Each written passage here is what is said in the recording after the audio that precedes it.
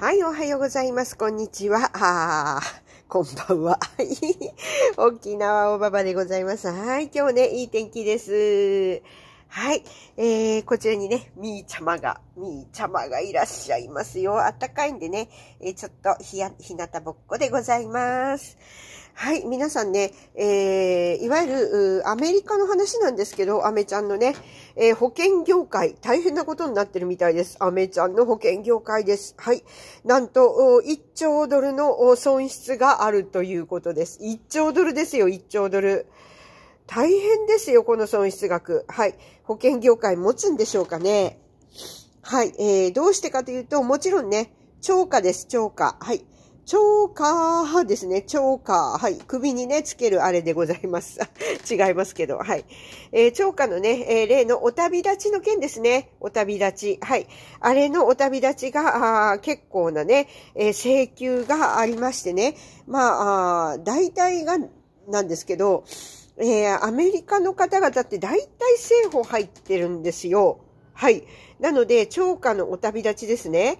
はい。こちらに、まあ、保険金をね、えたくさん支払わなくちゃいけなくなってしまって、それが、どうやらね、え普通の年に比べて、約1兆ドル、はい、え1兆ドルの損失が、保険業界全体で出るということでございますね。これ去年かな？去年1年だけでそういう感じになってるのかな？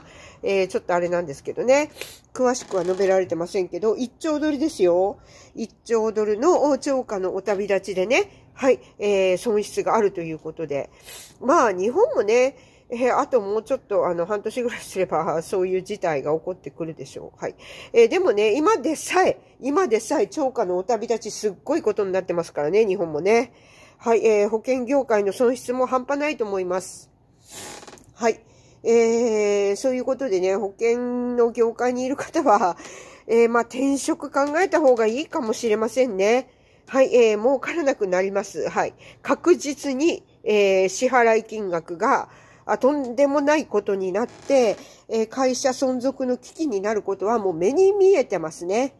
はい。まあ、そういうことでございます。なので、えー、まあ、保険業界にいる方ね、今、超過すごいんでね、超過の4がね、はい。えー、なので、えー、ちょっと考えた方がいいですよ。はい。ちょっと考えた方がいいです。転職を。はい。えー、まあ、とんでもないことになってますからね。はい。1兆ドルですよ、ドル。はい。わかりますよね、これ。はい。すごいです。日本円に直すとね。はい。えー、100、100兆、いや、140兆ぐらいですね。はい。140兆ぐらいですよ。はい。日本だとね。はい。えー、まあ、日本もね、えー、ちょっと、あの、こういう事態にもうなると、なってきますね。もうね。確実になります。はい。えー、これはもう、あの、予測変換できますんで、えー、まあ、食べてない方でね、今、保険業界にいらっしゃる方ですね。はい。ああいったものを食べてなくて、今、保険業界で働いていらっしゃる方。はい。えそういった方は、お早めに転職されることが、あいいんじゃないんでしょうかね。はい。えー、転職しろとは言えないんですけど、そのような、えことをした方が、今後ね、今後、きつくなくなるとは思います。はい。なぜ、あの、すごいですからね、払いが。はい。超、あの、超過のね、超過のあれで、はい。支払い金がとんでもないことになってます。なので、えよーく考えた方がいいですよ、本当に。はい。えー、保険業界にいる方はね。はい。まあ、そういうことでございます。こちらの記事も貼っておきますので、はい。皆さん見に行ってください。はい。なんせ、兆ドルですからね。アメリカだけで。